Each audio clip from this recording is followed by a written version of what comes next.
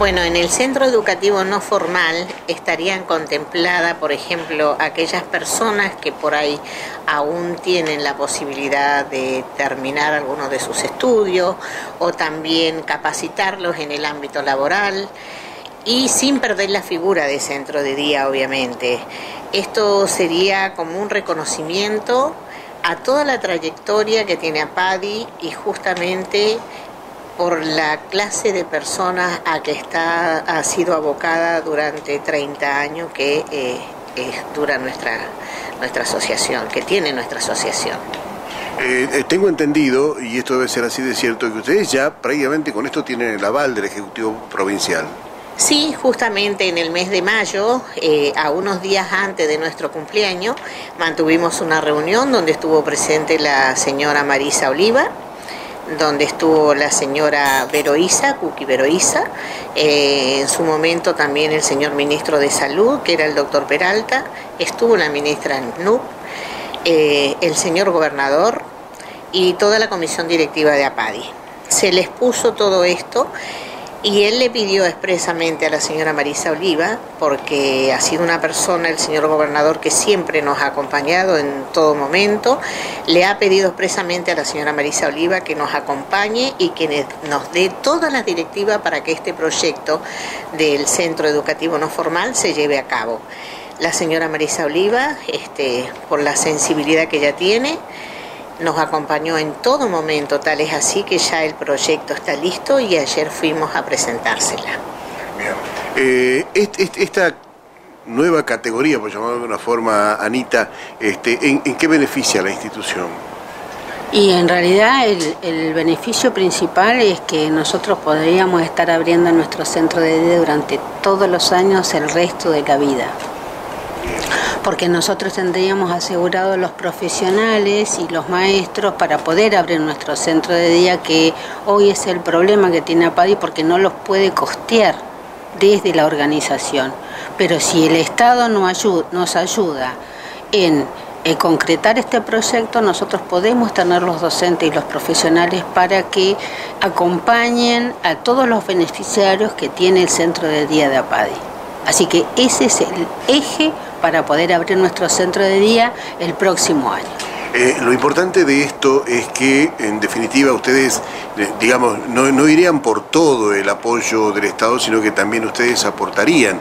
Y el Estado que, ayuda en este caso, que sería como, como una suerte de administración mixta que hace más factible todo, ¿no? No, exactamente. En realidad es decir, en, el proyecto está estipulado 37 personas, o sea, con profesionales que estarían dependiendo de los distintos ministerios que tiene el, Ejecutivo Provincial.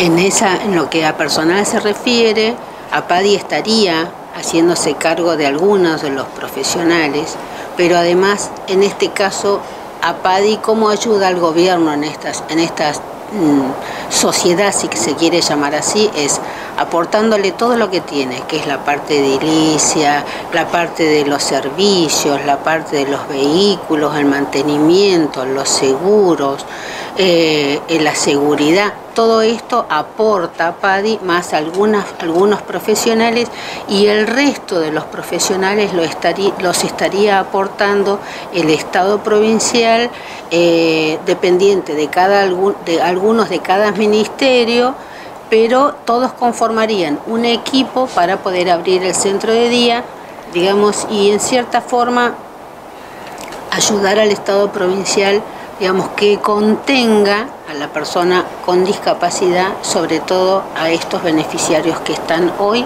siendo de APADI un proyecto interesante, la verdad que involucrando y comprometiendo a todos creo que no puede, no puede fallar, digamos, en los objetivos. Y ya que estamos en los objetivos, creo que hay objetivos cumplidos, otros que no tanto, pero, pero ¿qué, qué, qué balance haría de este 2013 que se está terminando, Rosa? Altamente positivo. Nosotros el año pasado, cuando recibimos esta nueva comisión directiva que hizo el 14 de septiembre, eh, la verdad que estábamos en muy mala situación, tanto en lo económico como a nivel personal.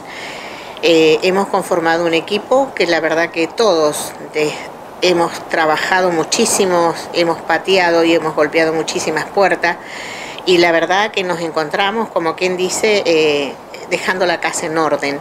Eh, tenemos todas nuestras cuentas al día, nuestros jóvenes han tenido aumentos de sueldo, hemos cumplido con un deseo por ejemplo, de que se respetara también esta ley del 4% de inserción laboral a la provincia. El señor gobernador nos ha dado tres puestos de trabajo como regalo de cumpleaños en el mes de mayo y ayer justamente eh, del Consejo de Educación la señora Marisa Oliva nos dio la sorpresa que dos personas más que están trabajando en nuestro taller ingresarían a la planta de la provincia. Eh, no te voy a dar nombre porque esas personas aún no están notificadas. Queremos darlo como una sorpresa en el día de nuestra cena, que va a ser la otra semana. También este, ahora ya se están cursando ciertos los pedidos de audiencia porque queremos de alguna manera asegurar que el otro año volvamos a hacer el convenio con salud, que eso a nosotros, para nuestra planta de empleados, nos da muchísima tranquilidad porque es un convenio muy importante el abastecer con nuestras bolsas eh, a todos los hospitales de la provincia. Eso es lo más fuerte que nosotros tenemos. Y como vos decías recién y Anita decía, trabajar mancomunadamente es porque lo necesitamos realmente. Hace unos días también eh, hemos firmado un convenio de nuevo con el Hospital Regional por el tema de las gasas, si bien es cierto es por seis meses, pero todo esto ayuda.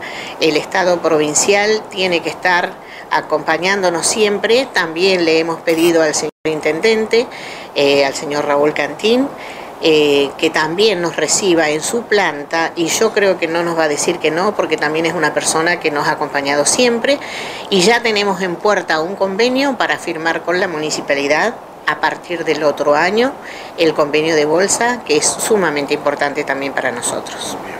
Bueno, eh, a las dos muchas gracias. Anita, no sé si te queda algo para agregar. Yo le quiero agradecer, eh, bueno, en este caso al Estado provincial que nos ha venido acompañando, eh, también quería comentarte que estamos trabajando para una audiencia, como dijo Rosita, con el gobernador o en su defecto con el ministro jefe de gabinete. Y además le queremos decir a toda la sociedad de Río Gallegos muchas gracias, muchas gracias porque este, eh, hay veces que distintas organizaciones nos están colaborando, como en el caso de la Rural o como en el caso de la rifa, este, que también nos ha ayudado muchísimo. Eh, entonces la verdad que eso es, eh, eh, hay que agradecerlo cuando la sociedad colabora y además decirle a toda la gente de nuestra ciudad que nos vengan a visitar y que en lo posible se hagan socios de APADIS que también van a estar ayudando a muchos jóvenes con discapacidad.